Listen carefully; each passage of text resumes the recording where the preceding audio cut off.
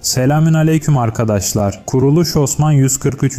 bölüm bugünkü videomuzda sizlere bunu anlatacağız. Ulgen Bala'ya Günca ile ilgili her şeyi anlatacak mı? Yakup Beyleri tehdit etti. Beyler Yakup Bey saflarına katılacak mı? Gelecek bölümde yeni bir kale gösterilecek. Bu kale hangisi olacak? Bu ilginç ve önemli bilgiyi öğrenmek için videoyu sonuna kadar izlemelisiniz. Kanalımıza henüz abone olmadıysanız videoyu beğenin ve kanalımıza abone olun. Gelelim Ulgen Hatun'a hakkında konuşun. Geçen bölümün sonunda gördünüz. Bala Hatun, Ulgan'dan Gonca hakkında bildiklerini kendisine anlatmasını ister. Elbette Ülgen Gonca'ya dair her şeyi anlatacak Bala Hatun, bundan sonra Sadat Hatun'un Gonca'yı kullandığını öğrenecektir. Gonca bu yüzden Alauddin'in aşkını reddetmiştir. Öyle ki Sadat Hatun artık Gonca'yı kullanamayacak. Bala Hatun da bunu biliyordu. Gonca Alauddin'i seviyor. Beyleri hakkında konuşun. İşte son bölümde Yakup Bey'in reislere hançer göstererek tehdit ettiğini gördünüz. Böylece beyleri kendisiyle birlikte katılabilir. Ancak Yakup Bey'in bu planı başarıya ulaşamayacaktır. Çünkü beyler Osman Bey'in düşmanı yenerek nasıl galip geldiğini biliyorlardı ve ilk olarak Süleyman Bey Osman Bey'e destek vereceğini açıklayacak. Bundan sonra diğer tüm beyleri de Osman Bey'i desteklemeye karar verecekler ve bu tehdit Yakup Bey'e pahalıya mal olacak. Kale hakkında konuşun. Yani önümüzdeki bölümde yeni bir kale göreceğiz ve eğer kaleyi görebilirsen yani açıkçası yeni bir tane önümüzdeki bölümde Takifur karakterini de göreceğiz ve gelen haberlere göre Bursa Kalesi 143. bölümde gösterilecek.